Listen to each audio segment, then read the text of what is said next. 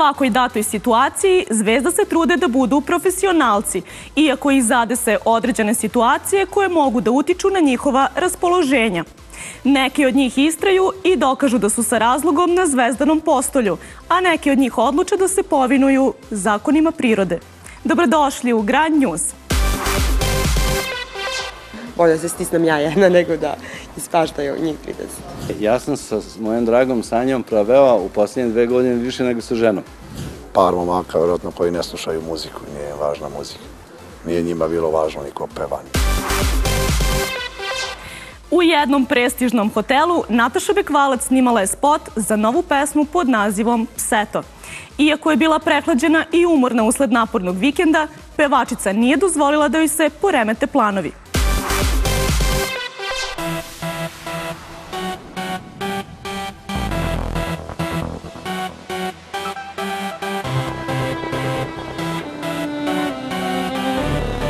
Nataša Bekvalac pojavila se na snimanje spota za pesmu Pseto, vidno prehlađena i umorna. Ali ni u jednom trenutku nije pomislila da otkaže profesionalne obaveze. Bolje da se stisnem ja jedna nego da ispaštaju njih 30. Pa nisam sigurna koliko je to dobro. Ovaj, nekad, ne, nekad stvarno ne treba, ne treba jurcati, ali ogrom, ogromna ekipa je u pitanju. Pitali smo pevačicu da li je primenila neki narodni lek za ublažavanje prehlade. Sve narodne lekiće sam, sam uzela, ovaj, tako da e, mnogo sam bolje nego što sam, nego što sam bila, ali glavni problem je nespavanje. Ovaj, e, pa ajde, sva sreća pa imam dobrog šminkera. Nemoj da si u problemu, samo sam ti digla cenu. Neće one usne tvoje, hoćeš što je bilo moje. U novom spotu pojavljuje se i maneken s kojim Nataša ima nekoliko scena.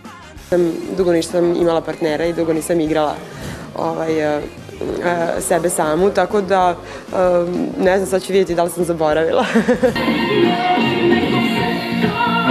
U jednom delu pesme Nataša poručuje Ne laži me ko pseto. Iako privatno ne razume ovu konstrukciju. Baš mnogo toga u narodu imaš, znaš, one izreke koje kao kao ovaj, pa kao, kako to pseto može da laže, nemam pojma, moji ne govore, tako da ne mogu ni da lažu. Pojedine izreke iz naroda pevačicu posebno zabavljaju. Ja kad nekom kažem tako lepe oči kao krava, meni je to lepo, znaš. Zavisi kako to doživljavaš.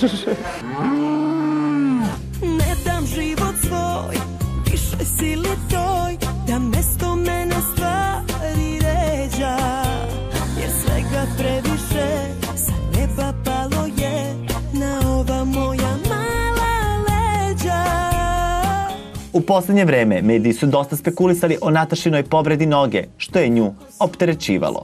Kao kakav ti je nos, kakva ti je ono nokat, to je u redu, imaš li celulit. Mislim, to su stvari koje, koje, na koje nikad nisam reagovala. Kad neko kaže da će ti otpasti noga ili da će ti od, odseći, onda su to stvari koje za moj ukus padaju u onaj domen krajnjeg neukusa, nevaspitanja.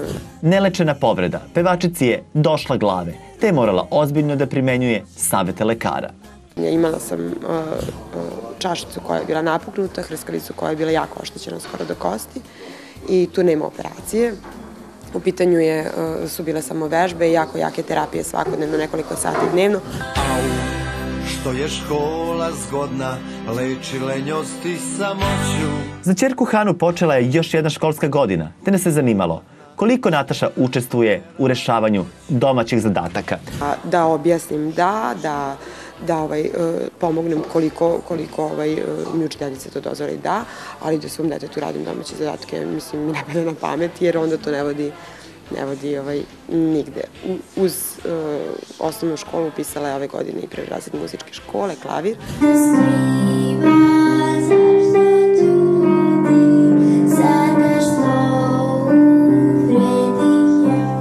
smo pomislili, eto naslednice, međutim, pevačica nas razuverila. Mislim da neće, nije neko ko voli scenu, voli baš suštinski muziku, tako da mislim da će ovaj, Ma ne, ne, neću da uopšte ambiciozno razmišljam o detetu, neka radi šta voli, ja ću biti najsrećnija na svetu. Nataša će 25. septembra nastupiti u rodnom Novom Sadu, te će ujedno sa sugrađanima proslaviti svoj rođendan.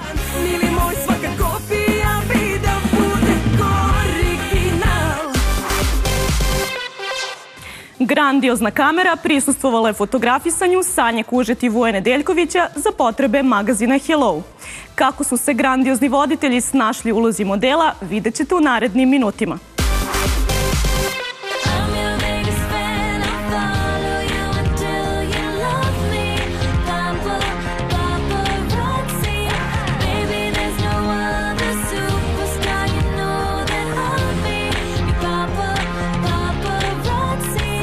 Iako su na fotograficanje za potrebe magazina Hello došli odvojeno i nisu se dogovorili o usklađivanju garderobe, Sanja Kužet i Vojana Deljković odabrali su slične nijanse za ovu priliku.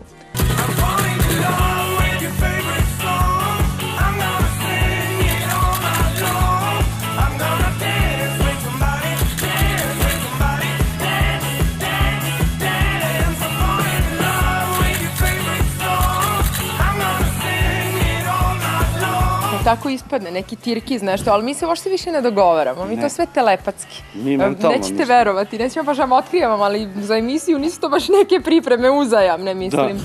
Može se reći da u njihovom slučaju važi izreka da ljudi koji provode mnogo vremena zajedno počnu da liče i slično razmišljaju.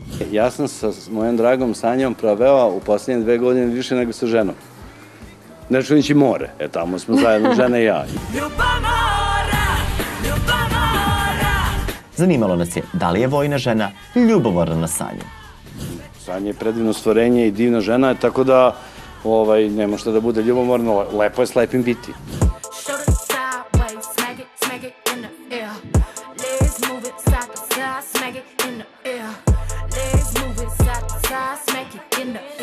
Pitali smo grandiozne voditelje koliko je kome trebalo da se pripremi za fotografisanje. Krenem da se spremim, umijem se, obrijem, e, uzmem iz ormana šta mi treba i dođem. Ma Voja je praktičan. Da, Mislim, da. inače bi trebalo muškarci takvi da Jest. budu, ali on je stvarno posebno što se Da. tog spremanja tiče. Za devojke treba malo više vremena kad su te fizičke pripreme u pitanju. Nismo mogli, a da ne primetimo Vojin preplanuli ten, te nam je pojasnio šta je zaslužno za isti. Pa ja sam radio dosta ove godine kukuruz, soju i pa sam kopao dosta i malo me udarila boja više, tako da... A ja sam tako taman, skoro koji još mikrofon, tako da meni to potraje, boga mi, skoro do oktobra meseca. To ja budem crna, ali meni se spira boja. Uopšte ne znam kako to tako Voji ostane. Ja umačem glavu u šargarepu. Sanja i Boja su se odlično snašli u ulozi modela, pa osim što su slušali savete fotografa, i sami su predlagali zanimljive ideje. No sada baš radim, stoji na rukama, ne, ne ide mi, ali ovaj... Posebno ja, zamisli ovoj suknji. A kako bi izgledao stoji na Pa, rukama ovoj prodali, bi pro- prodali bi ceo tiraž.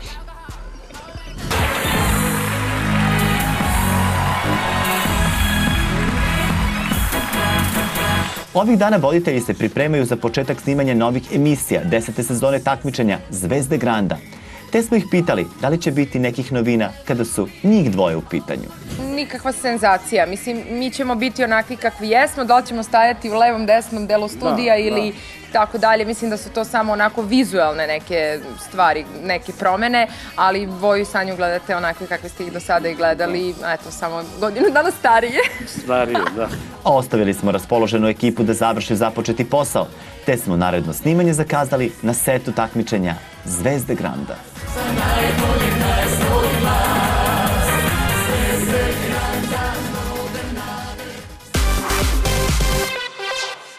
Saša Matić je do kasnih sati radio na ekranizaciji nove numere koju je za njega komponovao Mlađan Dinkić. Pevač je prokomentarisao i medijske natpise da će pevati na svadbenoj ceremoniji Severine i Igora Kojića.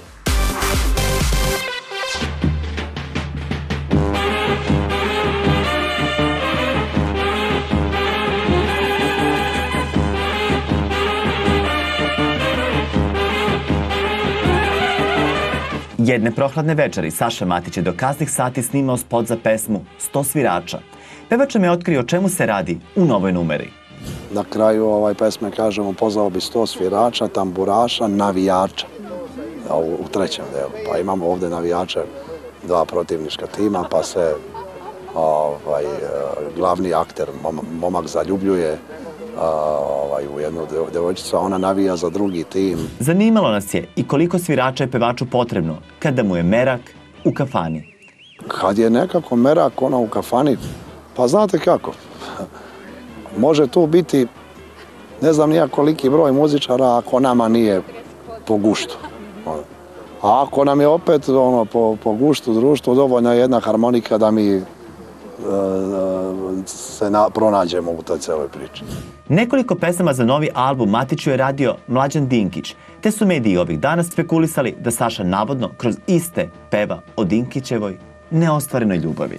Pa to su, ja mislim, pre novinari želeli da to tako bude nego što je to čovek rekao. Mislim, mislim da ne.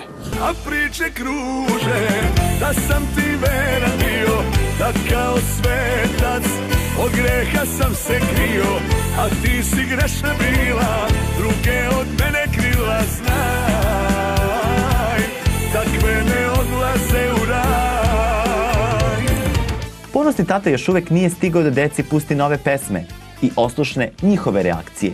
Ipak otkrio nam je da deca izgleda nisu nasledila njegov muzički talenat. Voleo bi ja da jesu malo više. Ali nisu. I nisu baš ni mali, 8 i 12 godina, ali dobro. Eto, ja sam sa 8 godina svirao i, te, i, te, i te kako. Zlato moje Nađi novu ljubav Novo nebo Pevač je sa bendom nedavno doživeo neprijatnost u Zadru, budući da je tokom svirke kamenovan kombi kojim su došli na nastup. Pa to su neki ljudi koji, par momaka vjerojatno koji ne slušaju muziku, nije važna muzika. Nije njima bilo važno ni ko peva, ni da li to Saša Matić, da li je to ne znam ja, neko drugi. Oni su došli tu da naprave to što su napravili.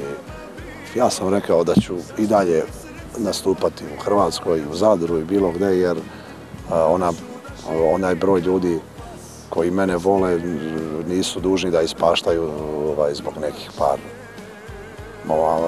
ljudi koji eto, su to napravili. Pa verovatno ni oni nemaju objašnjenje zašto. I opet ću ići sa beogradskim tablama. Ne mogu ja Dalje bez tebe Živjeti u moru tuge Dok ti spavaš pored druge Ovih dana piše se i da će Saša pevati na svadbi Severine i Igora Kojića, koja će se navodno držati u novembru. Pa su i nešto pričaju, jedini ja ništa ne znam tu, ovaj, nisam se čuo još sa njima. Ali to sam i ja čuo iz medija, ovaj, nismo se još čuli, ovaj, pošto su i oni bili nešto zauzeti, a ja sam celo leto, pravda da vam kažem, nisam uopšte ovaj, ni bio pr- prisutan ni u Beogradu, ni na telefonima. S obzirom na to da će sledeće godine obeležiti 15 godina postojanja na estradnom nebu, pevač već uveliko razmišlja o velikom koncertu kojim će počastiti vernu publiku.